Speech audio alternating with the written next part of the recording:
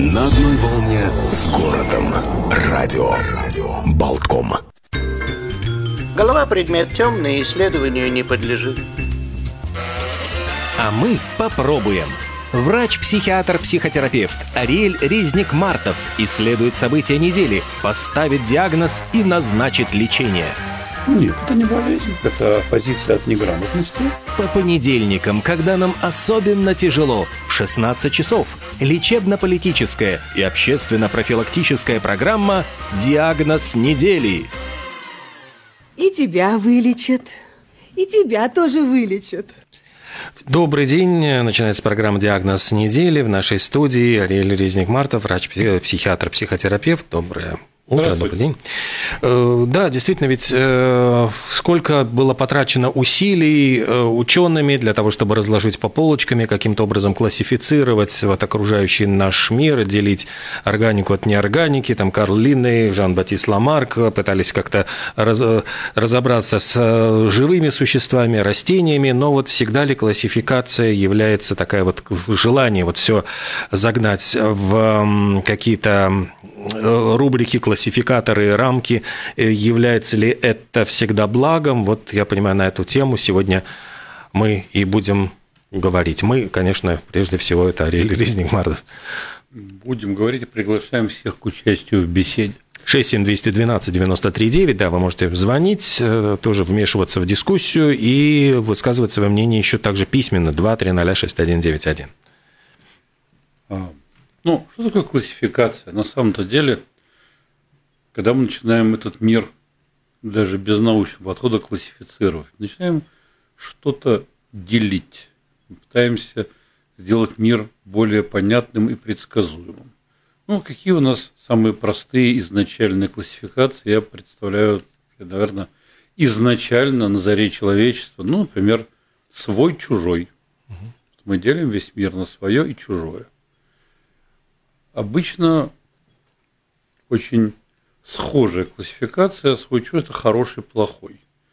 Обычно свой – это хороший, естественно, а чужой – это более сложная история, но от него чаще, на заре человечества не ждали ничего хорошего, поэтому он был, наверное, скорее плохой, потому что непредсказуемый и непонятный. Очень близко, наверное, съедобное и несъедобное. Да, да. Вот. Очень правильная мысль. Съедобный всегда хороший. Да. Ну, наверное, этих классификациях вообще это очень много. Есть, сразу говорю, есть классификации научные. В самых разных сферах науки. О них мы сегодня говорить не будем, потому что, ну, во-первых, у них есть узкоинструментальное предназначение, и, во-вторых, даже они все время меняются с течением времени. Ну, даже на моей памяти медицинская классификация меняется раз в несколько лет обязательно. Меняются названия заболеваний, расширяются понятия, что-то исключает, что-то включается. То есть достаточно, достаточно гибкое понятие об этом. А, давайте подумаем, как люди классифицируют других людей. И мне кажется, еще вторая часть, люди классифицируют сами себя. И вот эти классификации обычно не научны, они чаще всего, скажем так, наукообразны. То есть нам почему-то трудно воспринимать человека другого таким, какой он есть. В этом есть какая-то тревога, что-то непонятное, надо ему что-то сделать. Надо как-то его понять и встроить в свой мир. И встроить в свой мир не проклассифицировав, очень сложно. Мы не знаем, чего от него ждать. Друзья, враги, ну, например, вот у каждого человека есть какой-то круг знакомых, которых он может поделить вот по такому принципу. Может, но это тоже такая очень зыбкая классификация. Как говорил кто из французских королей, Людовик XI, по-моему, mm. спаси меня, Господи, mm. от друзей, а с врагами как-нибудь сам разберусь. Поэтому это тоже очень условная классификация. А если мы посмотрим на социальные сети и тому подобные вещи, всегда в последнее время люди очень любят психологические или псевдопсихологические классификации. И этим классификациям нет числа. начиная от знаменитой классификации темпераментов сангвиник, холерик, меланхолик, флегматик, которая до сих пор удивительно популярна. И как люди забывают, что ее придумал еще Гиппократ, и был достаточно давно. И, в общем-то, из самих э, названий темперамент следует, что Гиппократ людей классифицировал по типам жидкости, преобладающим э, в организме человека. Кровь, желчь, угу. черная желчь и так далее, и так далее. То есть, тем не менее, мы по-прежнему друг друга втискиваем во все эти рамки. А, кстати, Александр Дюма даже и написал «Три мушкетера», разделив всех мушкетеров, по-моему, как раз вот по этим четырем типам. Типа же вдохновлялся. У Шекли, по-моему, была замечательная повесть, не помню сейчас ее название, э, где где-то в будущем изобрели некий способ лечения психических заболеваний, когда у человека было серьезное психическое заболевание, его личность расщепляли – на части, и каждой части находили новое тело, искусственное тело. И некую личность расщепили как раз по всем этим темпераментам. Целью э, их всех было встретиться и снова слиться воедино, потому что каждый ощущал свою ущербность. Потому что, еще раз, втискивая классификацию, ну, любой практикующий психотерапевт, психиатр скажет, что не бывает – ни одного чистого типа личности. Есть некое смешение, есть преобладание в каких-то процентах. Но мы стараемся упростить этот мир. Это тоже способ классификации, сделать из сложного простое. И втискивая людей в какие-то рамки, мы стараемся их сделать для себя более понятными. И ладно, мы их втискиваем в эти рамки. Мы пытаемся с людьми строить отношения, исходя из этих рамок, из этих навязанных им определений и классификаций. Если помните, был такой биолог Кювье когда-то, угу. который взял на себя смелость сказать, что по отдельной одной кости он может воссоздать образ всего животного. Вот, мне кажется, мы иногда тоже берем на себя смелость пытаемся стать такими доморощенными кювье, берем какую-то часть, какое-то проявление, и исходя из этого мы создаем в своем сознании некий образ, мы приписываем его этому человеку, мы его навязываем, можно сказать, и строим с ним, исходя из этого отношения. То есть, что значит строим отношения? Мы возлагаем некие ожидания – исходя из этого образа, мы позволяем себе определенным образом вести себя с ним, исходя из этого образа. И зачастую людей мало волнует, что этот образ, поскольку он с реальностью имеет мало общего, то и отношения, которые выстраиваешь из этой классификации, заранее обречены на провал. По-моему, сразу у меня приходит на ум синдром Скарлетт из «Унесенных ветром», который придумала себе образ Эшли, идеального мужчины – и вот в упор не замечала вроде счастья рядом Ретта Батлера, который очень подходил ей. И это тоже, это некое, ну, здесь же что-то чисто эмоциональное было. Так сказать, фантазия, чем классификация. Да. Классификация носит некий оттенок научности или mm. псевдонаучности. А, что сейчас людям очень нравится. Очень много. На звонок? А, да, кто-то нам дозвонится. Здравствуйте. Здравствуйте. Здравствуйте. Я вот э, считаю, что человек часто встречается с чужими людьми, и ему нужно по некоторым точкам определить психотип, и стоит ли с этим человеком иметь дело. Вот. И есть такая наука, э, интерполяция, то есть по две-три точки строить кривую. И чем быстрее вы определите этого человека, тем лучше. Вот так. Две-три точки, построили кривую. Это надо иметь такую, как бы сказать потактичнее, смелость и прямолинейность, чтобы, увидев чужого человека, увидеть две-три точки, построить кривую из этих двух-трех точек, сведенных кривой, решили, что это за человек, и дальше, исходя из этого, строить с ним отношения. Я работаю с людьми больше 30 лет. И при всем при этом я не решусь, увидев человека, построить здесь две-три точки, построить кривую и втиснуть людей вот этот придуманный образ. Это, честно говоря, ни к чему хорошему не приведет. В итоге вы, уважаемые, имеете дело не с другими людьми. Вы имеете дело со своими фантазиями о них. И, в общем-то, наверное, и вы оказываете дурную услугу, потому что вы на самом деле не понимаете, с кем вы имеете дело. И человек, который лишь его пытаются упростить до двух-трех точек и кривой, общем, наверное, тоже может обидеться, а может просто потерять к вам интерес. Поэтому вот, это, вот этот звонок – прекрасная иллюстрация нашей сегодняшней темы. Берем мы живого человека и втискиваем в некие рамки. Человек обычно втискивает в рамки, при том, что он этого не просил, обижается. Давайте вспомним замечательный мультик и сказку «Козленок, который может считать до десяти». Когда козленок всех считал, человек, которому он говорит, там, не знаю, бык – это три. И тот, кого он считал, немедленно приходил в ярость и гнался за ним. До угу. тех пор, пока они добежали до корабля, там надо как-то сосчитать, сколько людей этот корабль потянет – то эта классификация появился смысл. Но, в принципе, люди, которые навязывают рамки, очень обижаются. Есть замечательный рассказ Честертона, знаете, есть серия отцов, рассказов детективных об отце, об Баттере ну, Брауне. Да, да. да. И там был рассказ, который мне очень нравится, когда убили известного э, благотворителя, филантропа. Он был как как-то очень, кстати, вспоминается.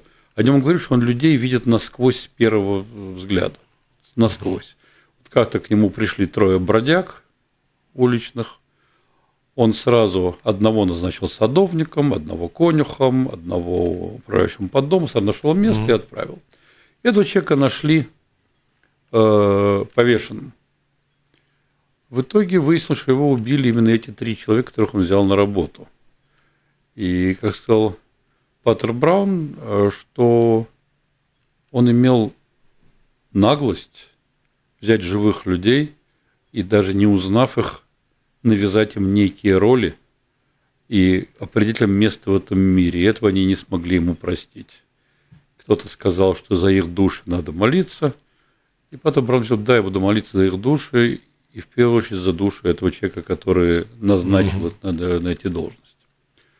Вот мне кажется, вот, это все история о том, как мы людей втискиваем в рамки. Вообще-то втискивание в рамки тоже интересная вещь. Вот заметьте, у нас у всех э, возникает, как бы это сказать, ну, скажите, вот, Олег, даже если вот, вот если вы ощущаете, вас втискивают в некие рамки, какова ваша реакция?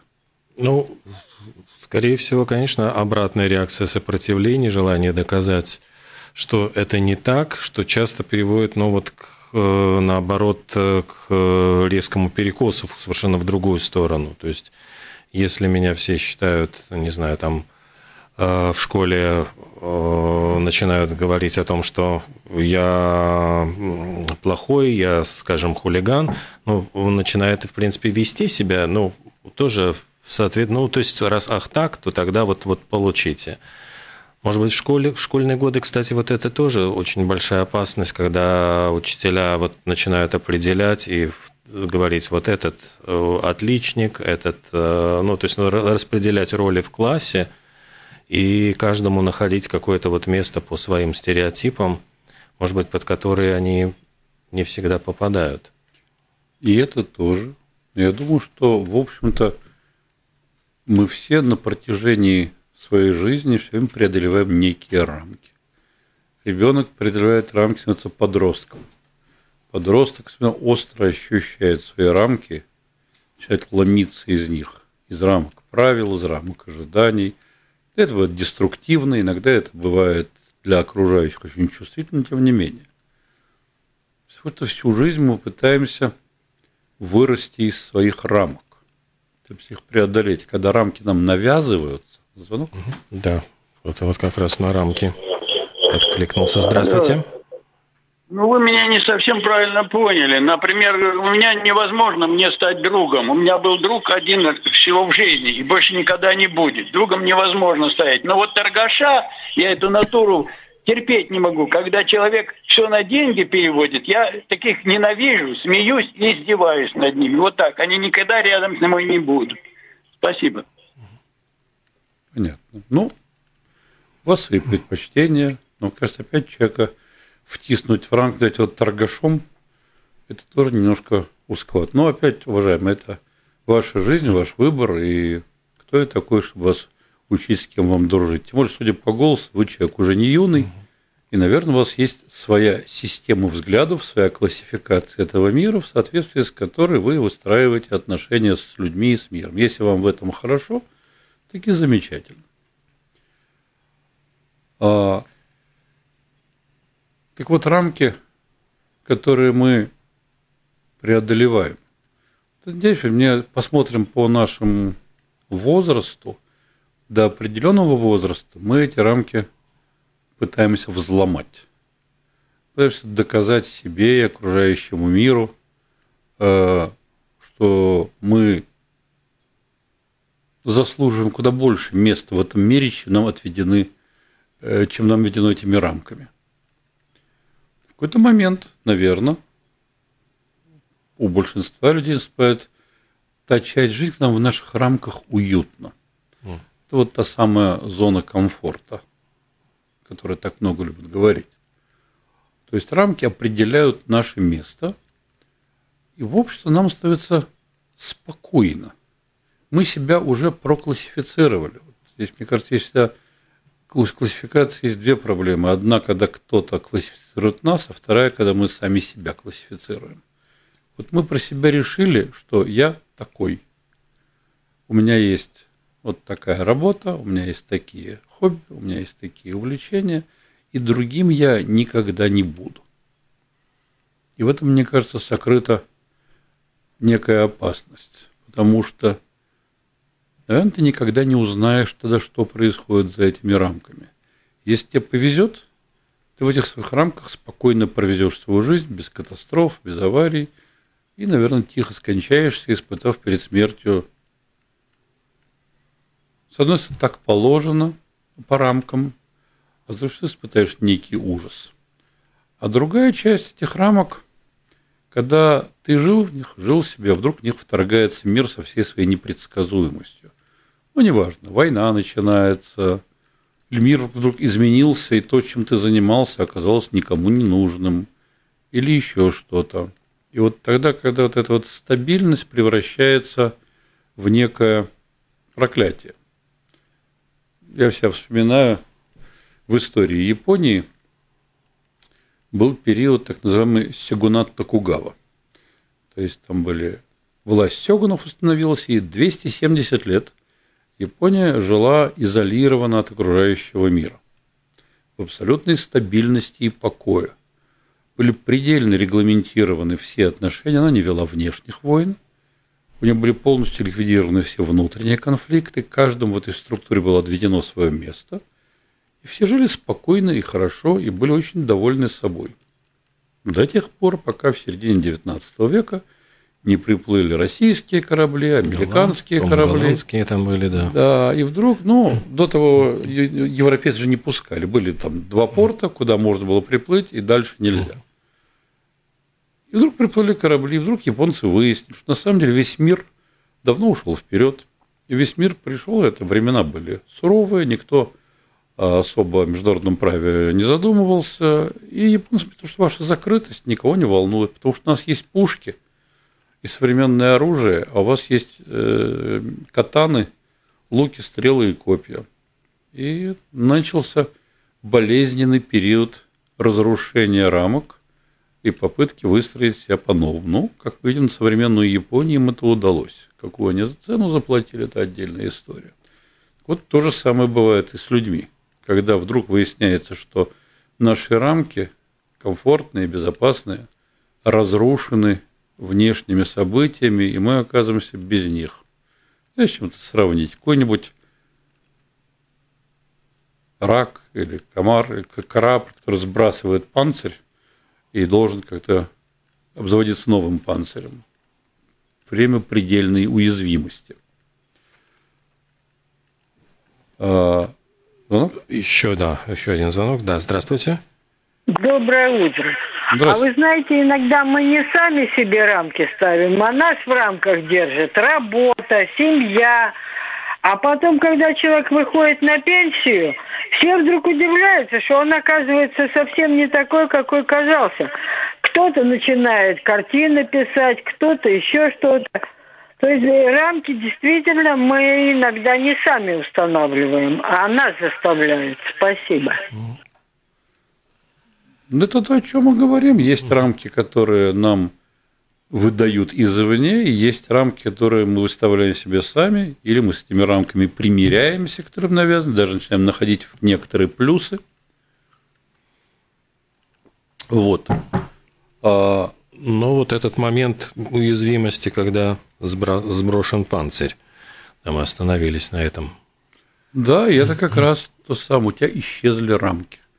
Грубо говоря, у тебя есть куда расти. Где-то я слышал, что я, честно говоря, не биолог и не зоолог, где-то слышал теорию, что в какой-то момент панцирь тесен, его надо сбросить, и это мучительное состояние, и это состояние беззащитности, пока не вырос новый панцирь.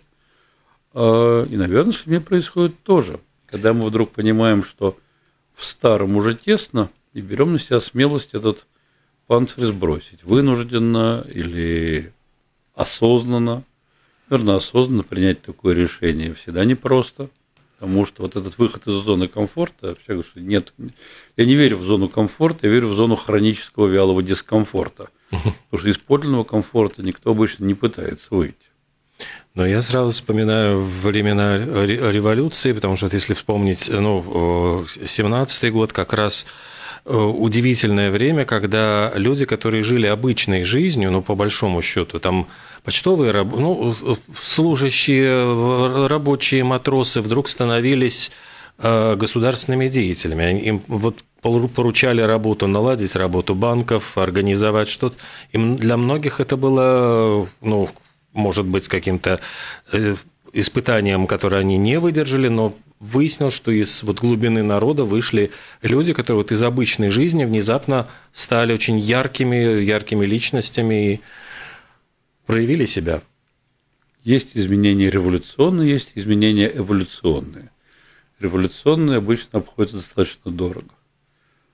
Да, наверное, на некоторое количество ярких личностей, проявивших себя, приходится большое количество личностей, которые разрушили все, чем занимались это еще вокруг пострадало энное количество людей.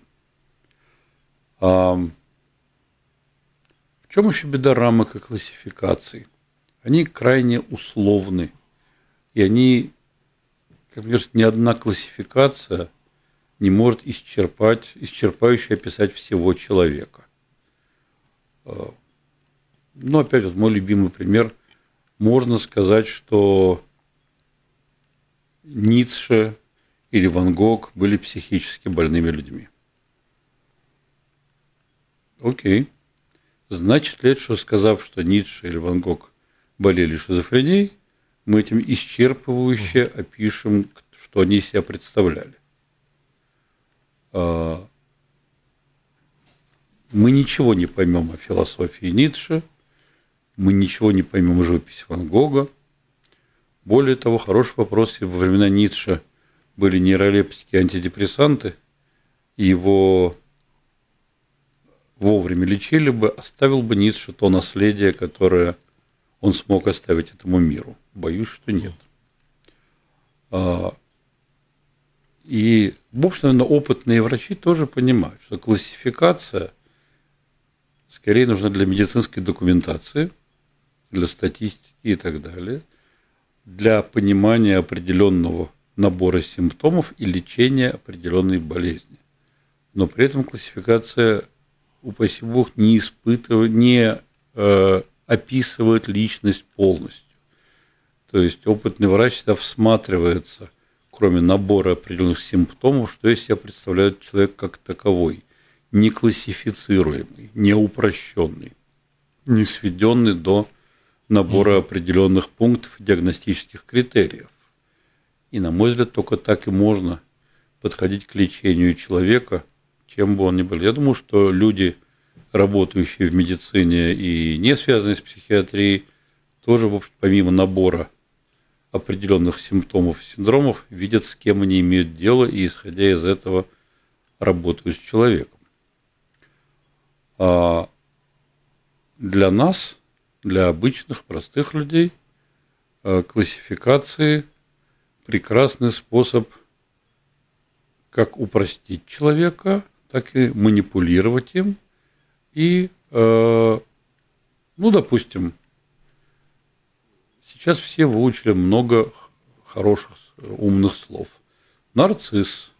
Интроверт, экстраверт. Манипулятор. Интроверт, экстраверт и еще много-много разных умных слов. И люди пытаются в отношениях, которых не достигают желаемого, зачастую использовать эти критерии, эти классификации для того, чтобы атаковать своего э, партнера, знакомого, члена семьи и так далее. Ну, вот семь, семь способов противостоять там нарциссу там, или что-нибудь. Ну, полно в СМИ. Таких ну, много. Но опять, когда начинают друг друга обвинять, ты нарцисс, а ты манипулятор, а ты, как ни сказать, абьюзер. Угу. И еще много разных слов. Вот э, мне кажется, когда люди не наделены пониманием того, что происходит, здесь классификация им нужна в какой-то степени, чтобы снять с себя ответственность за отношения, чтобы снять себя ответственность за свой вклад в отношения. При этом все мы знаем, что на свете действительно есть нарциссы. И когда у человека такой нормальный, расцветший нарциссический невроз, с ним иметь дело невозможно. Поэтому, когда ты осознаешь и думаешь делать дело с нарциссом, не по двум-трем точкам проведя кривую, а, наверное, думая и чувствуя, ты можешь как-то отношении что-то делать, скорее всего, просто уйти из них, потому что пытаться изменить нарцисса – занятие очень напоминающее сизифов труд, не очень осмысленное. А вот э, разделение по знакам зодиака – это тоже своего рода классификация. Мы знаем, сколько есть советов там, там с, с, с кем могут сочетаться скорпионы, то есть, дескать, вот э, несочетаемые скорпионов там или… Ну, мы опять каким-то образом берем эту классификацию, верить в нее или не верить – вопрос каждого в отдельности. А – это хороший способ переложить ответственность себя на звезды или на астролога, который скажет, нет, ну вы же такие знаки, вы не можете быть вместе. И это сразу так много объясняет. Это не заставляет задуматься, каков твой вклад в отношения, или что ты почему-то терпишь своего партнера. Как сказала одна моя пациентка, я эту фразу задумал, запомнил всю жизнь. У меня очень тяжелая жизнь, доктор. Я замужем за овном. Она как вот очень астрологическая фраза, очень мне запомнилась. А, да, ваш пример замечателен совершенно. Вот астрология и знаки зодиака – те же классификации. И классификаций множество. Есть загадочная наука соционика, есть еще множество разных э, умных терминов и сложных классификаций с подпунктами, пунктами и так далее. Опять вопрос, зачем оно нам и что оно нам дает, кроме упрощения мира вокруг себя.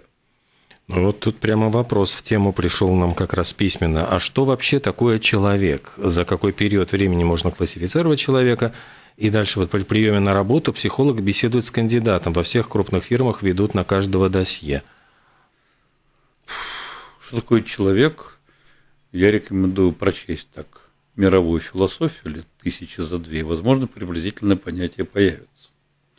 Я не возьму на себя смелость исчерпывающе это mm. формулировать. Начиная от старых определений, что-то вроде человека, это что-то вроде существо, не покрытое перьями, щенок и так далее, и так далее.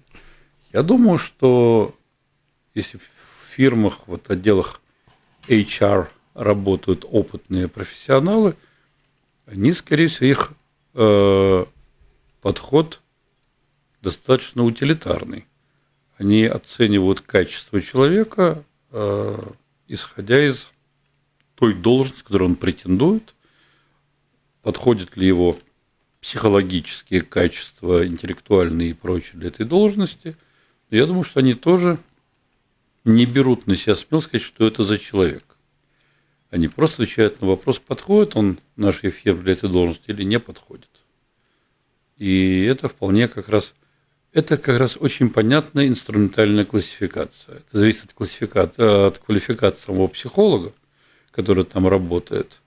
Но это как раз мне очень ясно. Я как раз говорю о том, что происходит с нами в обыденной жизни, когда мы пытаемся все проклассифицировать. Потому что классификация в степени такой и в отношениях, и в мире. Это такой страх импровизации. Это страх жить в непредсказуемом мире.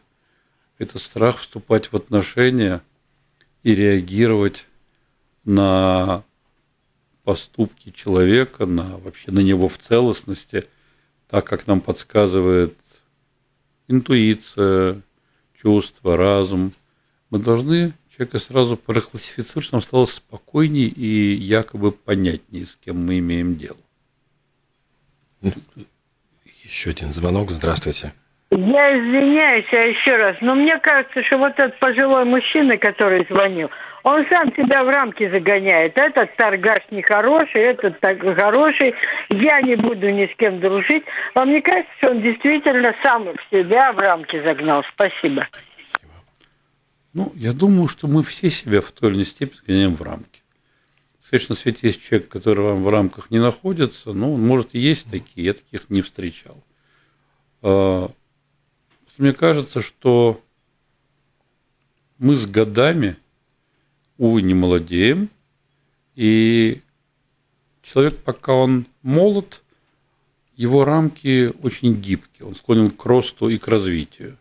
У него, в общем-то, и суставы гибкие, и связки гибкие, и весь он гибкий. А мы с годами начинаем костенеть. Мы становимся, что называется, ригидными, жесткими, негибкими. И физически, и психологически. Ну, вот лично я очень стараюсь себя отслеживать в этом плане, чтобы не почувствовать монополия на истину, что в силу возраста и опыта я настолько мудр, что могу обо всех судить. Я вообще стараюсь как можно меньше судить с годами. Вот этот мужчина позвонил, высказал свою точку зрения. Наверное, у меня сложилось в нем определенное мнение.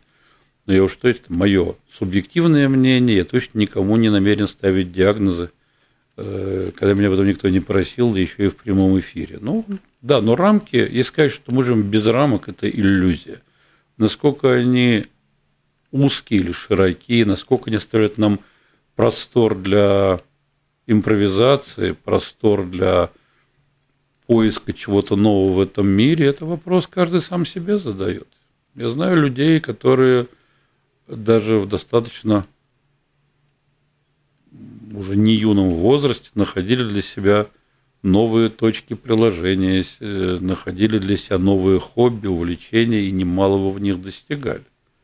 У меня в кабинете до сих пор на стенах висят картины женщины, которая пошла заниматься живописью в 58 лет. И немало в этом преуспела. И я таких людей знаю тоже, в общем-то, немало. Станислав Говорухин, например, э, тоже начинал, ну вот как хобби, э, начинал увлекаться живописью, но многие оценивали его достаточно высоко, его уровень э, живописных картин. Поэтому звонок.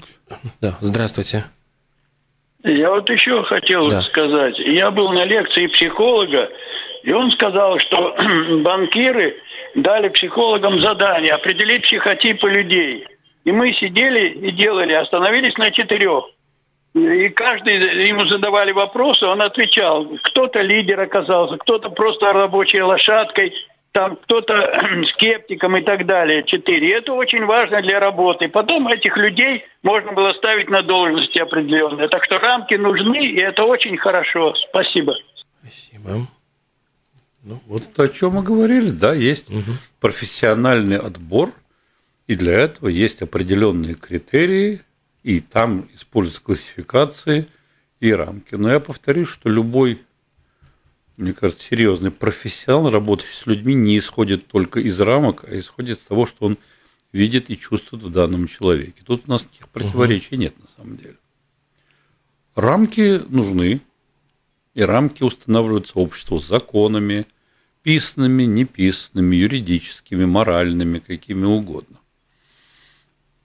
Это же вопрос опять, я, поскольку я психотерапевт, я работаю и психиатр, я работаю с людьми, а психотерапия для меня это всегда не алгебра, а арифметика. То есть я не имею дела с x, y и всякими переменными величинами, я имею дело с, конкретными людьми и конкретными качествами. Вот. Поэтому исходя, что когда-то я выучил какие-то классификации и знал их, чем больше я работаю, тем больше я понимаю их условность, классификацию. Но сказать, что если бы я в свое время их вообще не изучил, нет, это было бы неправильно. Но, наверное, любой профессиональный музыкант разучивает гаммы как правильно держать руку, как правильно. Должен пройти базовое образование. Все должны пройти базовое образование, чтобы потом на основе его импровизировать. Что-то забыть, а к чему-то снова вернуться потом. Поэтому о чем я всем говорю сегодня? Я говорю о рамках и классификациях, в которые нас помещает общество, с одной стороны – а второе – о рамках и классификации, которые мы сами себя втискиваем. И я не хочу сказать, что любые, любая классификация – это плохо. Я не хочу сказать, что любые рамки – это плохо. Хочу сказать, что это каждому из нас самому решать. Это вот требует в высокой степени, мое любимое слово, осознанность. Вот мы всегда, каждый из нас может себя спросить, в каких рамках я нахожусь какие границы, рубежи, которые я себе поставил. Какие из этих рамок э, я воспринял откуда-то, от родителей, от общества, даже особенно не анализируя, нужны они мне или нет, хорошо угу. в них или нет, а какие рамки я выстроил себе сам, кем я себя считаю и почему я себя таковым считаю, и насколько мне хорошо или плохо от того, что я вот так себя в этой жизни – ощутил и позиционировал. И я до сих пор уверен, что мы можем свои рамки раздвигать в любом возрасте. Можем их понимать, можем их раздвигать, или можем, по крайней мере, не знаю, угу. Притормозить возрастное сужение этих рамок. Ну, да, с возрастом рано или поздно приходит сужение возможностей. Но опять это в наших силах э, говорит о себе, ну, мне уже 70, и, значит, пора сидеть у телевизора и не особо не двигаться. Но это опять те рамки, которые поставил сам угу. себе. Вот я вспоминаю того самого Владимира Познера, которому 87 исполнилось.